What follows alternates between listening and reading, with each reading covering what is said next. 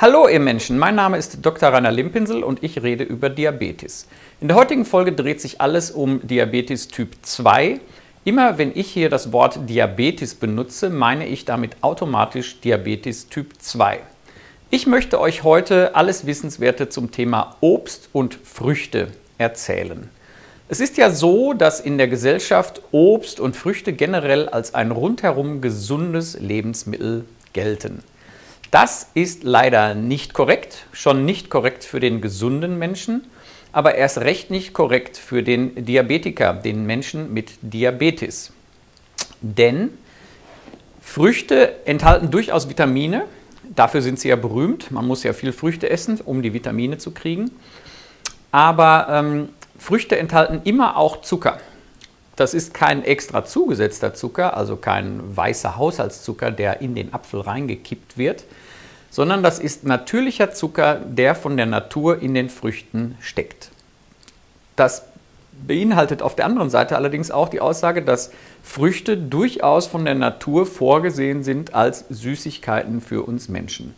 Also da spricht jetzt nun wirklich nichts dagegen, weder für einen gesunden Menschen noch für einen Menschen mit Diabetes, dass der ab und an mal Obst und Früchte isst.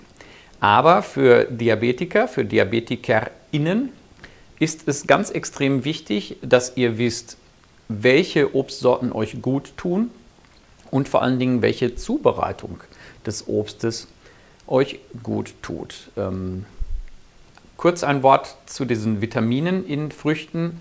In der guten alten Zeit, sagen wir mal so 1650, keine Ahnung, irgendwann so um den Dreh rum, da wussten die Menschen das noch nicht so genau. Und damals sind ja die ersten Expeditionen mit ihren Schiffen losgefahren, die ganze Welt zu erkunden. Und dann sind die losgefahren in, weiß ich nicht, Spanien, Holland, Amsterdam, Portugal, keine Ahnung. Irgendwie sind die losgefahren und dann so nach zwei, drei Monaten auf See wurden die Leute massenweise krank an Bord denen sind die Zähne ausgefallen, die, die hatten verfaulte, keine Ahnung, was da alles abfaulte an deren Körpern. Und man tappte so ein bisschen im Dunkeln und wusste nicht so richtig, was da los war. Und dann kam irgendein schlauer Mensch auf die Idee, hm, das kann daran liegen, weil die nur irgendwie, ich weiß gar nicht, wie die das damals geregelt haben. Was hatten die? Konserven konnten die auch noch nicht haben. Also auf jeden Fall hatten die kein, die hatten nicht genug frisches Essen an Bord. Und äh, dann die ersten, die es wirklich geschafft haben, mal so richtig um die Welt zu fahren, die hatten nämlich den ganzen Schiffsbauch voll mit Zitronen. Und ähm, spätestens seit da hatten Zitrusfrüchte, Zitronen den Ruf weg, irgendwie ganz wichtig fürs Leben zu sein. Das hat sich bis heute gehalten. Das Vitamin C äh, ist natürlich ganz wichtig fürs Leben, klar. Und dass äh, Vitamin C aber nur, nur in Früchten drin steckt. Um genau zu sein, nur in Zitronen und nur in Orangen. Also de facto für den Normalbürger nur in Orangen, weil Zitronen isst man ja nicht so gerne, weil die so ein bisschen sauer sind. Ähm, da ist schon irgendwie was Wahres dran, aber trotzdem gibt es Gemüsesorten, in denen steckt viel mehr ähm, Vitamin C, zum Beispiel auch die Brennnessel, die ganz äh, ordinäre Brennnessel die, die äh, tonnenweise überall umsonst wächst, ist ein ganz wunderbares Gemüse. Ähm, nur natürlich kommt kein Mensch auf die Idee, jetzt selber Brennnesseln zu ernten. Das heißt schon, einige machen das, meine Frau und ich, wir machen das regelmäßig. Wir gehen mit einer großen äh, Plastiktüte, so einer Mülltüte in den, in den Wald. Und zwar da, wo wir wissen, ich habe vorher extra, wir wohnen ja im Ruhrgebiet, ich, komm, ich, komm aus, ich wohne in Bochum. Und das Ruhrgebiet ist ja verschrien dafür, dass hier ähm, die Landschaft ganz schrecklich ist, was natürlich früher vielleicht mal so war, aber jetzt schon seit 80 Jahren, seit 70 Jahren überhaupt nicht mehr so ist. Äh, trotzdem mache ich mir tatsächlich die Mühe und gucke vorher bei den historischen Aufnahmen vom Ruhrgebiet, es gibt da so vom RVR so eine Landkarte, wo man sich angucken kann, was früher, also ab 1927 können die so, äh, haben die so Flugbilder äh, und zeigen dir, was war, was war früher an der Stelle. Das ist sehr interessant, weil manche großen Areale, wo heute irgendwie ein Park ist oder ein Einkaufszentrum, haben über die Jahrzehnte mehrfach komplett die Anmutung äh, geändert. Und es ist zum Beispiel die Halde Hohewart, die größte Halde hier im Ruhrgebiet, die ich dachte immer, die gibt es schon seit 1850 oder so. Quatsch mit Soße, die gibt es erst seit den 1980er Jahren.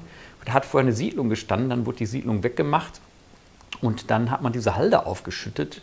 Und äh, da ist sogar ein Eisenbahntunnel drin in dieser Halde, wusste ich auch nicht, habe ich jetzt letztlich erst erfahren, bin da natürlich gleich mal durchgelaufen zu Fuß. Allerdings ist die auf der Südseite offen, ich bin von der Südseite rein und auf der Nordseite ist sie dann zugemacht und dann stand ich da an der Nordseite und kam nicht weiter, aber egal. Äh, also auf jeden Fall, äh, man hat äh, diese Eisenbahn erst mit einer, mit einem Beton, mit einer Betonarmierung oder wie man das nennt, äh, zugemacht und dann hat man die Halde drüber aufgeschüttet. Lustige Sache. Also äh, ich mache mir die Mühe, bei den Luftbildern vom RVR zu gucken, dass da, wo ich meine Brennnesseln sammle, garantiert durch die gesamte Industrialisierung des Ruhrgebiets niemals eine, irgendwas stand, irgendeine Industrie, vor allen Dingen keine Kokerei. Also Kokereien sind so schlecht. Das, das Lustige ist, da wo früher eine Kokerei stand, ist heute irgend so ein Wäldchen. Da gehen die Städte nicht dran, da, da, machen sie nichts mit. Das ist so verseucht, da lässt man einfach Birken wachsen, Schwamm drüber.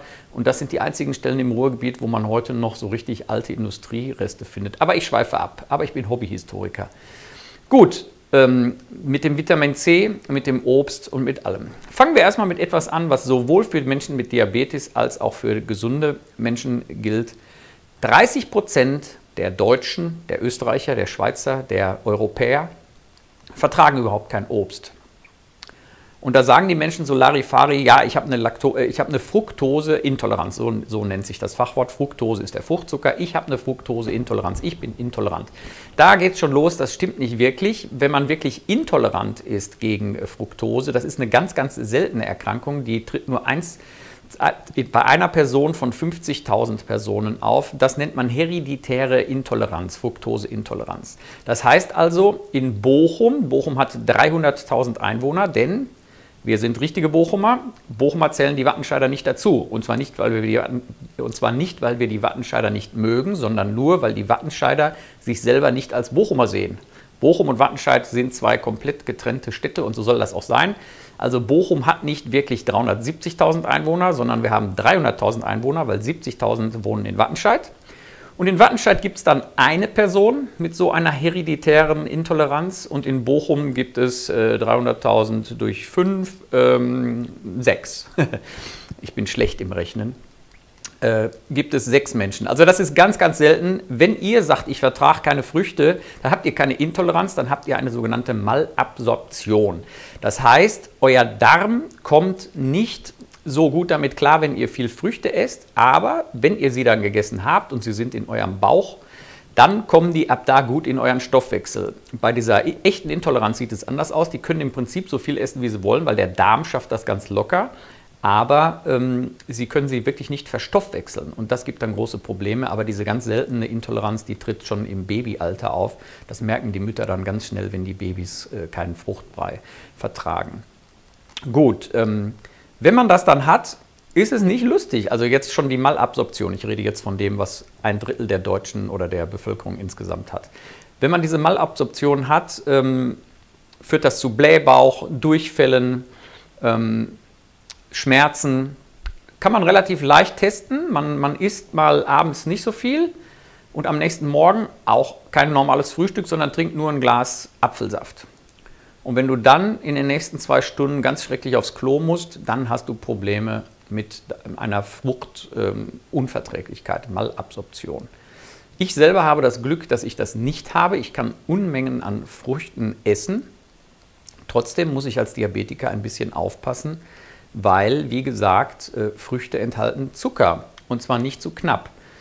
Früchte enthalten immer eine Mischung aus Glucose und Fructose. Das sind zwei verschiedene Zuckerarten. Ähm, die heben beide den Blutzucker. Die Glucose braucht Insulin, um den Blutzucker wieder nach unten zu kriegen und die Fructose braucht das nicht. Und deswegen gilt Fructose nach alter Väter Sitte als für den Diabetiker geeignet. Das ist auch nicht ganz so richtig, denn wenn man Unmengen an Fructose isst, ist das einfach nicht gut für den Stoffwechsel des Diabetikers und ähm, der Blutzucker bleibt dann andauernd immer oben. Wie ihr euch vorstellen könnt, hat die Industrie in der vergangenen Zeit natürlich deswegen Unmengen an Lebensmitteln hergestellt, die ganz viel mit Fructose gesüßt waren und dann hat sie immer hemmungslos draufgeschrieben, hier, das sind Diabetiker geeignete Lebensmittel. Den Zahn hat man ähm, der Industrie Gott sei Dank gezogen. Dieser Passus der Diabetiker geeigneten Lebensmittel, den gibt es in der Form nicht mehr. Hm, das war auch Quatsch.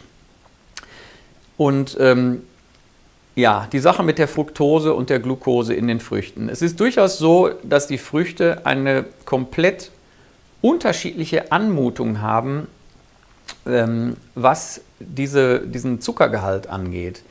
und auch der Quotient, der zwischen Glucose und Fructose herrscht. Ähm, zum Beispiel eine Weintraube ist ein, ein ganz schlechtes Lebensmittel, wenn es darum geht, beim Diabetiker den Blutzucker unten zu halten. Die Weintraube enthält nämlich 7 Gramm ähm, Fructose auf 100 Gramm und der Quotient zwischen Glucose und Fructose ist 2,8. Dann ein Apfel, schon besser, enthält 5 Gramm Fructose und hat auch einen Quotienten von 2,8. Dann die Banane hat 3 äh, Gramm Fructose und einen Quotienten von 1,0. Ganz weit vorne ist für mich die Erdbeere. Ich liebe die Erdbeeren oder Beeren generell. Die Erdbeere hat 2 Gramm Fructose und einen Quotienten von 1,1. Und Spitzenreiter ist der Pfirsich, der enthält 1 Gramm Fructose und einen Quotienten von 1,0.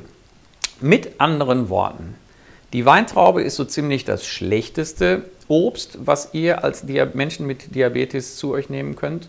Und die Pfirsiche und die Beeren, vor allen Dingen auch die Erdbeere im Sommer, ist mit das beste Lebensmittel, also das an Obst, das beste, die beste Frucht, die beste Beere, das beste Obst, was ihr zu euch nehmen könnt.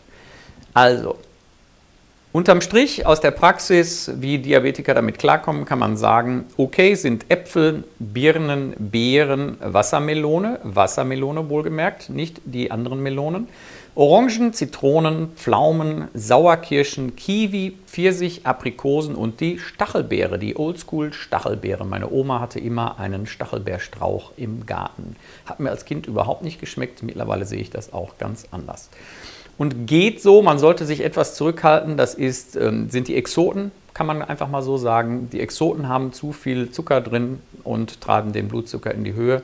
Ganz weit vorne ist die Ananas zum Beispiel auch. Die Ananas ist echt so eine Zuckerbombe. Also ein bisschen Maß halten müsst ihr bei Bananen, anderen Melonen außer der Wassermelone, Trauben, Süßkirschen, Ananas und Mango. Insgesamt kann man sagen, dass ihr über den Tag ein so eine Handvoll, so einmal so die Hände voll Obst, also jetzt nicht mit Berg, ne, so, nur so wie so eine, wie so eine kleine Müsli-Schale. So viel Obst kann man durchaus mal machen, aber gönnt euch mal den Spaß und verzichtet mal eine Zeit lang auf Obst und messt mal euren Blutzucker. Der ist einfach besser, wenn ihr nicht so viel Obst esst. Ähm, dann noch eine Sache zum, zum ähm, Saft. Fruchtsaft. Also da hat die Nahrungsmittelindustrie, die, die Saftindustrie ja nun wirklich ganze Arbeit geleistet.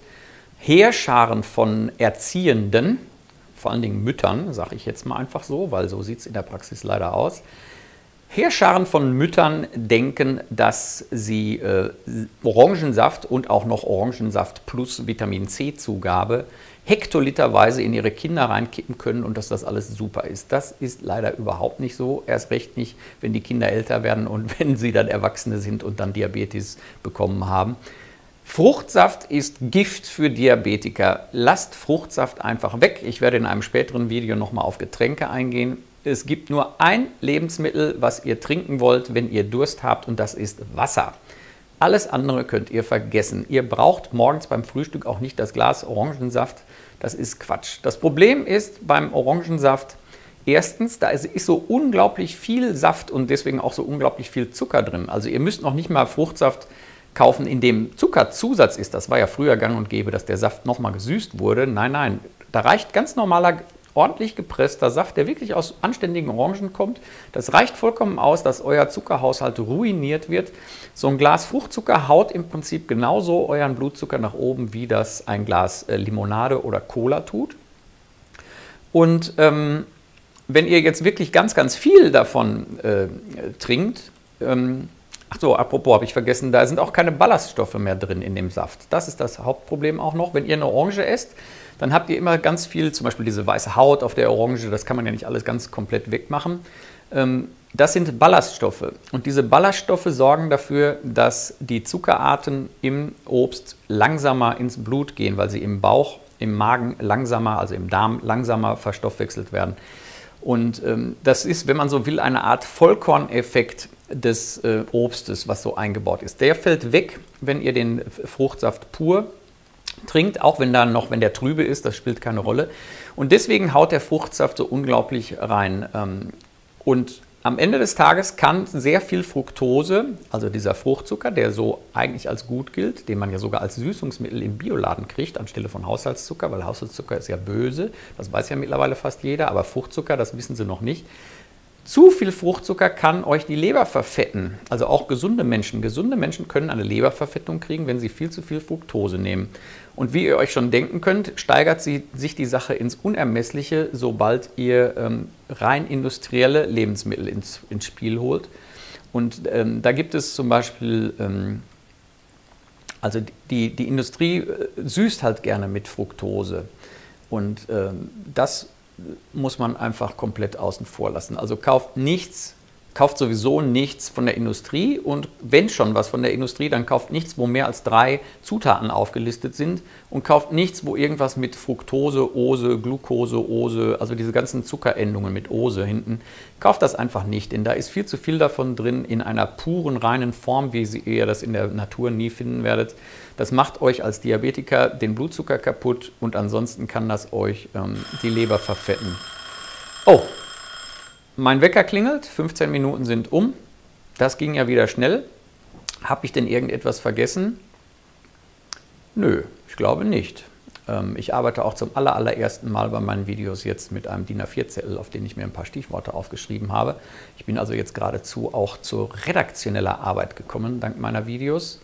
Ähm, ja, liked mich, ähm, abonniert mich, äh, tut alles das, was man tun muss, damit das hier im Internet äh, weite Kreise schlägt. Denn ich möchte gerne, dass die zwei Millionen deutschen Diabetiker, die keine Ahnung haben, dass sie Diabetes haben und einfach so durch die Gegend laufen und denken, sie seien kerngesund, die werden nämlich in 20 Jahren ein ganz, ganz schlimmes Erwachen haben, weil sie dann nämlich äh, Folgeschäden von ihrem Diabetes haben werden und deswegen mache ich hier diesen Kanal und ähm, mache mir hier die Mühe, diese Videos aufzunehmen, ähm, weil ich gerne möchte, dass diese Menschen, wenigstens ein paar davon, äh, wissen, in welcher Gefahr sie sich befinden. Und ich möchte ihnen gleichzeitig natürlich sagen, wie man locker von dem Diabetesproblem wieder runterkommt. Denn ich bin das beste Beispiel.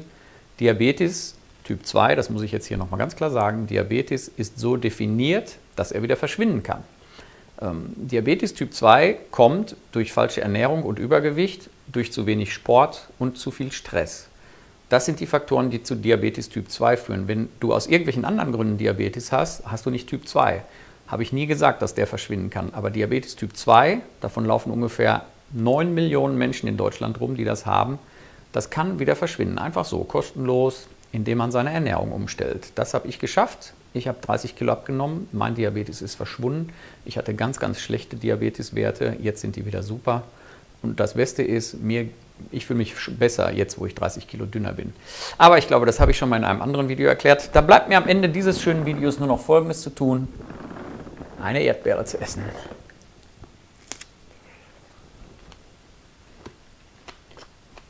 Mmh. Ein Traum.